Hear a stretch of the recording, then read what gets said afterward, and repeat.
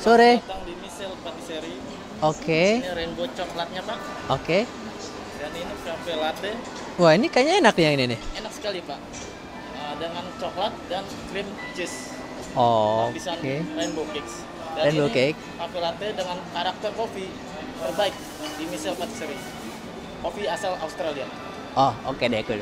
Terima kasih, Pak ya. Terima kasih sama-sama. Ayo.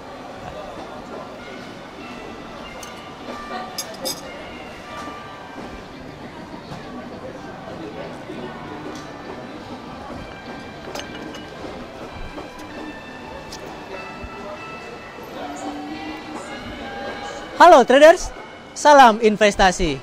Kembali dengan saya Indra Yudhistira di dalam Fibis Weekly Sentiment Forex. Kali ini dari Michelle Patisserie, kita akan membahas bagaimana perdagangan mata uang euro, sterling, dan yen. Sebelumnya mari kita review dulu perdagangan pada minggu lalu. Dapat kita lihat pada chart di mana perdagangan euro dolar terjadi suatu pola konsolidasi yang menunjukkan bahwa market masih cenderung wait and see.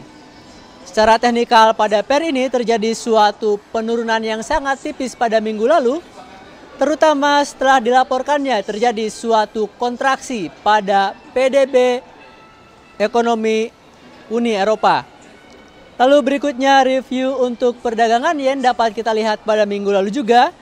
Yen masih bergerak di dalam suatu pola channeling up dan secara teknikal dapat kita lihat bahwa mata uang yen melemah cukup tajam sekitar 1.09 persen.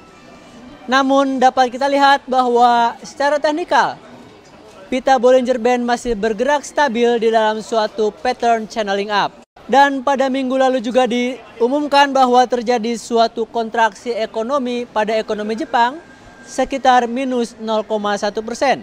Lalu untuk sterling dapat kita lihat mata uang ini masih bergerak pada pola melemah dan pada pola channeling down terhadap dolar Amerika Serikat. Pada minggu lalu sterling bergerak melemah dengan cukup tajam yaitu minus sekitar minus 1.77 persen atau sekitar minus 281 pips. Salah satu yang menyebabkan melemahnya sterling adalah bahwa retail sales diumumkan melemah menjadi minus 0,6 persen dari periode lalu dan berada di bawah estimasi ekonom. Beberapa isu penting yang dapat kita jadikan acuan untuk perdagangan minggu ini yang pertama adalah laporan yang baru saja kami terima, indikator Jerman ZEW Economic Sentiment mengalami kenaikan pada bulan Februari menjadi 48,2 dari 31,5. Selain itu indikator ZEW Economic Sentiment juga naik menjadi 42,4 dari 31,2. Data yang akan kami tunggu untuk minggu ini yang pertama adalah laporan dari lelang obligasi pemerintah Spanyol dan berikutnya adalah laporan sektor manufaktur Amerika Serikat yang diperkirakan akan menunjukkan kenaikan kinerja menjadi 0,7 dari minus 5,8. Secara teknikal untuk perdagangan euro pada minggu ini dapat kita lihat bahwa kisaran 1.3169 diperkirakan sebagai kisaran support yang cukup kuat untuk minggu ini dan 1.3602 sebagai kisaran resistance yang cukup kuat untuk minggu ini. Sentimen kami untuk euro adalah bahwa mata uang ini dapat berbalik menguat setelah pada minggu lalu melemah. Namun demikian magnitude dari kemungkinan menguatnya euro terhadap dolar AS ini diperkirakan tidak terlampau besar. Untuk perdagangan yen terhadap dolar AS, kisaran 92,10 diperkirakan sebagai kisaran support yang cukup kuat dan 94,90 sebagai kisaran resistance yang cukup kuat.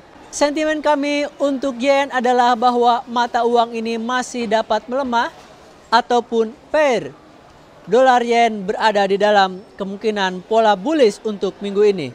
Untuk perdagangan sterling melawan dolar AS dapat kita lihat kisaran 1.5245 sebagai kisaran support yang cukup kuat dan 1.5704 sebagai kisaran resistance yang cukup kuat.